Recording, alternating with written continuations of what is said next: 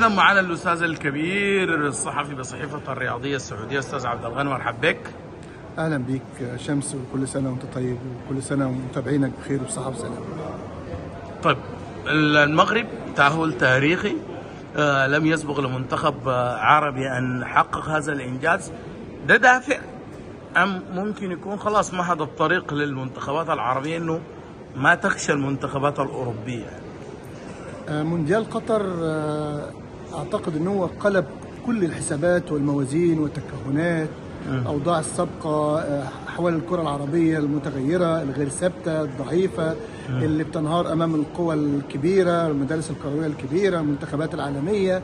نفسيا آه، مونديال قطر فتح الطريق أمام كل المنتخبات العربية التي شاركت في هذا المونديال أو لم تشارك في هذا المونديال.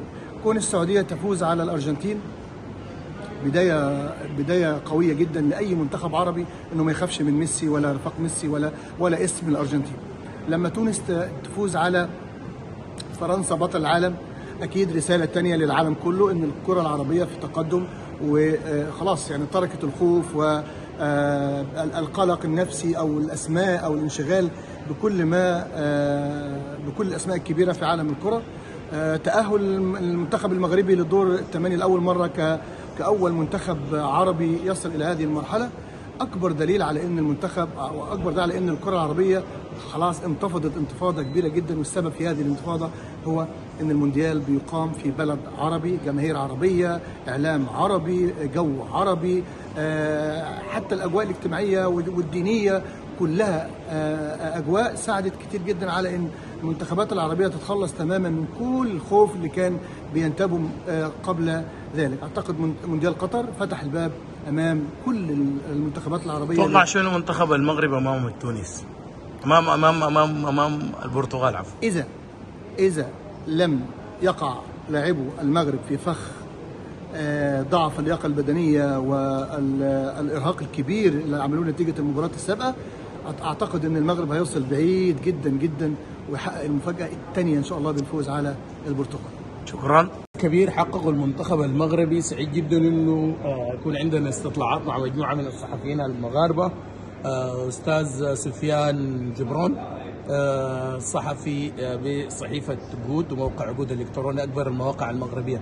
ألف مبروك. التأهل رأيك في التأهل والفرحة الكبيرة وهل تتوقع إنه ما زال ما زال؟ إن شاء الله ما زال ما زال بما أننا يعني قدرنا نحققوا هذا الإنجاز هذا وأننا نتأهلوا. يعني ما بقاش شي حاجة قدامنا يعني كتعني صعوبة. يعني أي فريق جا بسم الله أي فريق جا يعني نقدروا نقدروا نربحوا علاش لا؟ بما أننا عندنا يعني مدرب ذكي يعني كي كيحط خطط اللي يعني واعرة. وحتى اللعابة تيتقاتلوا باش ما يدخل حتى شي هدف للشبكة. يعني اننا نقدروا نوصلوا بعيد وعلاش لا للفينال. مم. طيب سفيان يمكن المنتخب المغربي ما كان يعني مرشح إنه يتصدر المجموعة لكن تصدر المجموعة تخطى إسبانيا. الآن في الطريق البرتغال كيف تنظر إلى هذه المواجهة المقبلة؟ آه، ما صراحة كيجيني موضوع عادي خصوصا أننا في يعني كنا داخلين غير باش آه، معولين غير على ندوزو من الدور الأول ونرجعوا بحالنا للمغرب آه، الآن كنشوفوا اننا يعني قدرنا أننا نوصلوا باش نواجهوا البرتغال فهذا كيبان لي أنه إنجاز. والفضل كامل راجع للعابه اللي عطاو الجهد ديالهم وقدروا أننا نضربوا حتى البرتغال بما أننا عندنا مدرب ذكي. طيب الجمهور المغربي كان كلمة السر. تتفق معانا في ذا؟ وهل تتوقع إنه المباراه المقبله أيضا الاستاد يكون هو استاد البيت أم السمامة؟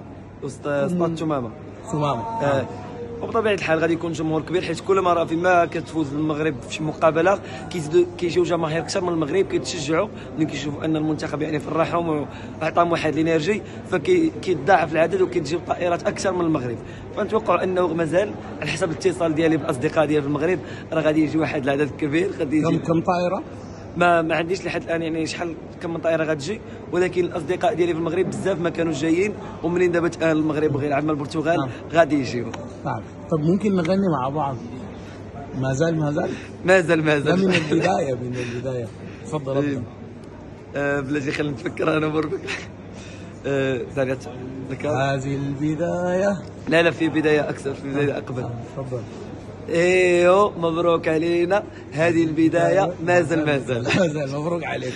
شكرا شكرا. الأستاذ منير من قناة مراسل قناة الدار المغربية.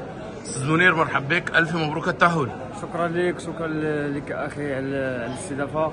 آه، شكرا لكم آه، إخواني جميع الجماهير العربية بخصوص التشجيعات ديالكم وسندتكم للمنتخب المغربي. وحنا فرحانين الحمد لله بهذا التاهل ديال المنتخب المغربي. وهذه الحمد لله يعني هذا فوز يعني تاريخي بالنسبة للجماهير المغربية والجماهير الدول العربية آه، اللي شاهدتوها كاملين. طيب. ديما بنقول هذه البداية وما زال ما زال. طيب هل ما زال؟ هل ما زال منتخب مازال خير إن شاء الله مازال مازال الخير مازال عاطي يعطي إن شاء الله. طيب. حنا شوف حنا تايقين إن شاء الله في المنتخب ديالنا تايقين في المدرب ديالنا وائل الدراكي والحمد لله كما شفتوا في المباريات اللي قبل وشفتوا أكيد آه، اليوم أمس آه، المباراة مع إسبانيا اللي الحمد لله المنتخب المغربي قدم واحد الأداء جيد وشرفنا بالنسبة للمنتخب شرف آه، المملكة المغربية وشرف جميع جماهير الدول العربية والحمد لله وهذا الشيء كما شفتوا راه كاين في مواقع طيب كيف تشوف مباراة البرتغال؟ هل هي شبيهة بمباراة اسبانيا ولا شوية أصعب؟